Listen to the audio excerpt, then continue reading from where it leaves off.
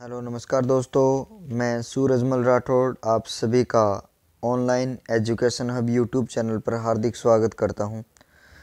सर्वप्रथम, पाँच दिवसीय दीपोत्सव त्यौहार की हार्दिक शुभकामनाएँ धनतेरस से लेकर भैया दूज तक चलने वाला ये जो विशेष त्यौहार सनातन धर्म में मनाया जा रहा है, ये त्यौहार आपके लिए बहुत सारी शुभकामनाएँ लेकर आए यही मैं इस YouTube चैनल के माध्यम से दुआ करूँगा। आज हम एक और विशेष क्लास कक्षा सात, एपिसोड नंबर तीन, तीसरा पार्ट हम पढ़ रहे हैं। और तीसरे पार्ट में हम, हमारा जो आज का लेसन है, वो जल है। और जल के बारे में हम पढ़ने वाले हैं। कक्षा सात का जो तीसरा अध्याय है, वो जल और इस जल से संबंधित कुछ प्रश्न आज मैंने इसमें साझा किए हैं। तो आप धैर्य बनाकर इसको सुनते रहिए। सबसे पहले भारतीय संस्कृति में जल का बहुत ही महत्व है। हमारी जो भारतीय संस्कृति है, किसी की बात करें, हमारा जल का वो विशेष महत्व बताया गया है। क्वेश्चन नंबर एक, जल चक्कर का, जल चक्कर को चित्र के माध्यम से समझाइए। जल चक्र है, उसको चित्र के माध्यम से समझेंगे हम। तो जल चक्र का जो चित्र है, उसकी बात मैं आपको इसके माध्यम से बताता हूँ। दल, जल चक्र क्या है? पहला क्वेश्चन ये है कि चित्र के माध्यम से मैं आपको समझा रहा हूँ। पहला क्वेश्चन था हमारा जल चक्र। ये जो आपको पूरा डायग्राम दिखाया जा रहा है, ये जल चक्र का ही डायग्राम है। ये हमारा इधर यहाँ से लेकर ये हमारा धरातल वाला भाग है और इधर यहाँ से लेकर ये महासागर है। और इस महासागर देखिए, यहाँ से हमारा धरातल हो गया, ये भूमिगत यहाँ से जल है। और ये जल धीरे धीरे होकर इधर, ये जल का बहाव है, वो इस साइड में होता है और ये महासागर में मिल जाता है। और महासागर में बाष्पीकरण की क्रिया से वायुमंडल के कुल जल बाष्प का लगभग अस्सी प्रतिशत भाग महासागरों से प्राप्त होता है। तो ये जो जल है, वो वो इस साइड में होता है और इसके बाद में वाष्पीकरण के माध्यम से संघनन की क्रिया कर बादल बन जाते हैं। ये जो बादल बनाया जा रहा है, इधर सूर्य का जो प्रकाश आ रहा है संघनन की प्रक्रिया से ये बादल में चले जाते हैं। उसके बाद में जो संघनन है, यहाँ पर बादल बनते हैं और इससे पवन के माध्यम से, हवा के माध्यम से ये बादल में प्रवेश करते हैं। बादल में प्रवेश करने के बाद में यही वाष्पीकरण है। वो धीरे धीरे वर्षा का रूप है। ले ले लेती है। इधर ये जो हिम है, वो पिघलते हुए ये जल का रूप ले लेती है। इधर ये जल, झील है, आपको झील दिखाई जा रही है इस साइड में। तो इस प्रकार का जो ये पूरा है, वो ये जल चक्र है। ये जल इधर से आके वापस एक जल का रूप ले लेता है। फिर महासागर में, फिर वाष्पीकरण की प्रक्रिया से संघनन और बादल बनना, और उसके बाद में हवा के माध्यम से बादल में प्रवेश और फिर ये बारिश हो जाती है। इस तरीके से ये जल चक्र है, वो हमेशा ये चलता रहता है। उसके बाद देख। दूसरा प्रश्न हमारा, भारत में सबसे कम वर्षा किस स्थान पर होती है? भारत में सबसे कम वर्षा किस स्थान पर होती है? तो थर नहीं है यहाँ पर, थार है। थार के मरुस्थल में वर्षा है, वो सबसे कम होती है। बहुत इंपॉर्टेंट क्वेश्चन भारत में सबसे कम वर्षा किस स्थान पर होती है? तो थार के मरुस्थल में सबसे कम वर्षा होती है। पृथ्वी पर मौजूद समस्त जल का कितना पानी स्वच्छ या मीठा है?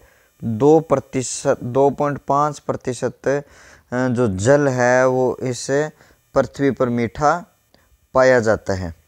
स्थल पर मीठे जल के स्रोत कौन कौन से है? जो हमारा स्थल है, उस पर जो मीठे पानी के स्रोत हैं, वो कौन कौन से हैं? उसकी बात हम करें। तो देखिए, नदियाँ हैं, झीलें हैं, बाँध है, तालाब, कुएँ निकट भूमिगत जल।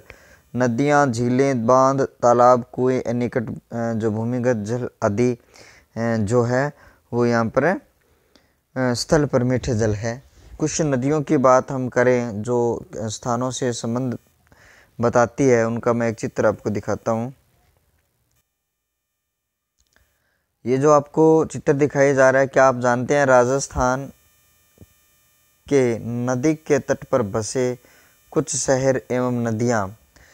राजस्थान है उसके नदी का जो तट है, किनारा उस पर बसे हुए कुछ शहर और कुछ जो हमारी नदियाँ हैं, उनकी बात हम कर रहे हैं।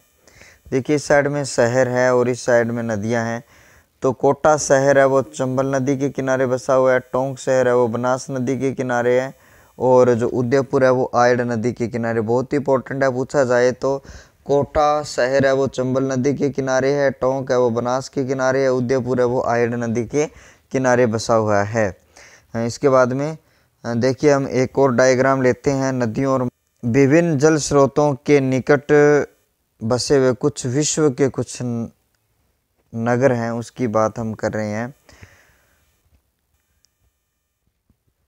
इस डायग्राम को थोड़ा सा मैं क्लोज करता हूँ, छोटा करता हूँ थोड़ा सा, जिससे हमारा ये सुविधा हो जाए। देखिए बात कर रहे हैं हम, सबसे इस साइड में आपको दिखाया गया नदी के किनारे स्थित नगर, महासागर तट पर स्थित नगर और झील के किनारे पर कुछ नगर। सबसे पहले हम नदियों की बात करें तो नदियों में हम सबसे पहले दिल्ली। दिल्ली है वो यमुना नदी के किनारे बसा हुआ है और ये भारत में स्थित है। दिल्ली यमुना नदी के किनारे भारत में स्थित है। इलाहाबाद इलाहाबाद गंगा यमुना के संगम पर है और ये भारत में स्थित है। लंदन थम्स नदी के किनारे पर बसा हुआ है और ये इंग्लैंड में स्थित है। उसके बाद में आपको बताऊँ रोम। रोम है वो टाइवर नदी के किनारे बसा हुआ है।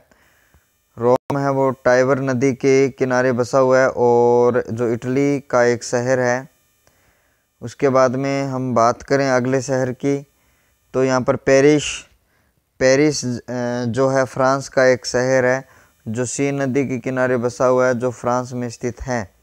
उसके बाद में इधर, इस साइड में महानगर है ये, इस महानगरों की बात करें तो मुंबई है वो हिंद महा, सॉरी महासागर है, महासागर के किनारे बसा हुआ है। और ये जो है आपका मुंबई, वो भारत में स्थित है। चेन्नई, हिंद महासागर के किनारे बसा हुआ है, जो भारत में स्थित है। न्यूयॉर्क अंटलाटिक महासागर में है। चार प्रमुख महासागर उसकी बात हम कर रहे हैं, जो यूएसए में है। बीजिंग, चीन का शहर है। प्रशांत महासागर के किनारे पर बसा हुआ है। सिंगापुर, जो प्रशांत महासागर के किनारे बसा हुआ है, जो अपने आप में एक देश है। इसके बाद में जो झीलें हैं हमारी झीलें कौन कौन से नगर के किनारे बसी हुई है, उनकी बात हम करें। तो सबसे पहले हमारी जो झील है, डल झील, वो श्रीनगर डल झील के किनारे बसा हुआ है, जो भारत में स्थित है, पुष्कर। पुष्कर झील के किनारे है, जो भारत में स्थित है, शिकागो, जो मिशिगन झील के किनारे स्थित है, जो यूएसए में है, डुलूथ शहर, जो सुपीरियर झील, जो मीठे पानी की झील है, वो आपकी यूएसए में स्थित है। बेफेलो जो बेफेलो शहर है, वो इरी इरी झील जो यूएसए में स्थित है। हमने विभिन्न शहरों की बात की है, विभिन्न नगरों की बात की है, जो नदी, महासागर और झील के किनारे बसे हुए हैं। वापस लौटते हैं हम हमारे प्रश्नों की ओर। पांचवा क्वेश्चन है हमारा कि महासागरों में पानी खारा होने होने का अधिक कारण क्या है? सबसे अधिक कारण हमें पूछा गया है तो लवण की मात्रा अधिक पाए जाने के कारण महासागरों का जल है, वो खारा हो जाता है। विश्व की सबसे खारे पानी की झील, विश्व के सबसे खारे पानी की झील, हम वर्ल्ड की बात कर रहे हैं। वर्ल्ड की सबसे खारे की पानी की झील है वोन झील जो तुर्की में स्थित है बहुत इंपॉर्टेंट परीक्षा की दृष्टि से। विश्व में खारे पानी की झील के उदाहरण बताइए कौन कौन सी जगह खारे पानी की झील के उदाहरण है? जॉर्डन एवं इसराइल के मध्य मृत सागर राजस्थान की सांबर झील आदि खारे पानी झील के उदाहरण हमें मिलते हैं।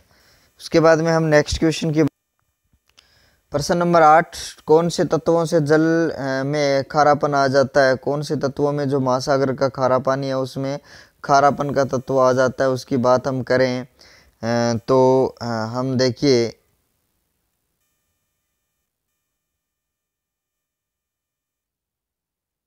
बात कर रहे हैं, सोडियम क्लोराइड, कैल्शियम, मैग्नीशियम, ये जो तीन तत्व होते हैं, इनसे महासागरों के जल में खारापन आ जाता है। फ्लोराइड युक्त जल के क्षेत्रों के उदाहरण बताइए। राजस्थान का जो शेखावटी क्षेत्र है, दक्षिण राजस्थान में जो फ्लोराइड युक्त जल है, वो पाया जाता है। जल संरक्षण के कानून कौन कौन से बनाए गए हैं? तो जल संरक्षण जल प्रदूषण निवारण एवं नियंत्रण कानून उन्नीस सौ चौहत्तर ये बनाया गया है। उसके बाद में पर्यावरण एवं संरक्षण कानून अठारह, उन्नीस दो प्रकार के यहाँ पर कानून बनाए गए हैं। गंगा को साफ़ करने के लिए कौन से अभियान भारत सरकार द्वारा चलाई जा रही है, कौन सी कार्य योजनाएँ चलाई जा रही है? तो देखिए जो आपका प्लान है, गंगा एक्शन प्लान नमामि गंगे देश के वर्तमान तत्कालिक प्रधानमंत्री नरेंद्र मोदी द्वारा ये प्लान जो कार्य योजनाएँ चलाई गई है गंगा एक्शन प्लान और नमामि गंगे जल दिवस मनाया जाता है। वेरी इंपॉर्टेंट क्वेश्चन है 22 मार्च को दल जल दिवस के रूप में हम मना मनाते हैं। आधुनिक जल संरक्षण विधियों में ए, कम वर्षा वाले काम किस गए? यहाँ पर कम है। वर्षा वाले क्षेत्रों के लिए अधिक उपयोगी विधि कौन सी है? रूफ टॉप जल संग्रहण विधि। रूफ टॉप जल संग्रहण विधि का मैं आपको एक चित्र दिखाता हूँ और उस चित्र में एक स्कूल ने इस विधि का अनुसरण किया है, वो देख। ये जो आपको डायग्राम दिखाया जा रहा है, ये रूफ जो राजसमंद के पीपलात्री गाँव का राजकीय विद्यालय, वहाँ पर रूफ टॉप जल संरक्षण विधि अपनाई गई है। ये जो आपको पाइपिंग दिखाई जा रही है, इधर पाइपिंग है और ये भी पाइप है और ऊपर से जो जल इकट्ठा करके यहाँ से नीचे एक टैंक बनाया गया, ये टैंक है और उसमें ये पानी इकट्ठा होता है और इस इकट्ठे होने के बाद में इस टैंक में ये भरा जाता है और जिससे इस पानी को काम में लिया जाता है। राजसमंद का यह एक विद्यालय है और इस विद्यालय में राज जो रूफ टॉप जल संरक्षण विधि अपनाई गई जहाँ पर वर्षा कम होती है, कम वर्षा वाले क्षेत्रों में इस प्रकार की विधि काम में ली जाती है। आगे वापस निरंतरम क्वेश्चनों की ओर लौटते हैं। तेरहवा क्वेश्चन है, साफ़ जल को कहा जाता है, बिल्कुल जो स्वच्छ जल होता है उसको क्या कहा जाता है? तो साफ़ जल को भविष्य का सोना या नीला सोना कहा जाता है। तो इस प्रकार से जल पाठ से, जल अध्याय से, जल लेसन से तेरह महत्वपूर्ण क्वेश्चन बने थे। उसकी बात हमने कर ली है चित्रों के माध्यम से। कुछ वो जो चित्र मैंने दिखाए, उनमें से क्वेश्चन बन सकता है। तो मैंने सीधा ही वहाँ से जो जिस किनारे पर बसा हुआ है, वो वहाँ से आप सीधा याद कर लोगे।